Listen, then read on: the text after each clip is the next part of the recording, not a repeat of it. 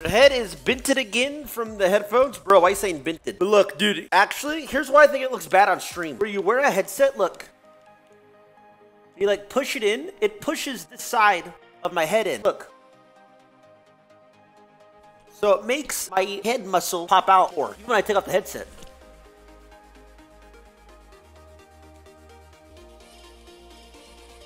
But I don't look like this in real life. It's just because I've been wearing a headset for 14 hours but after it goes away, it's like nor and like this isn't pushed in, it's normal.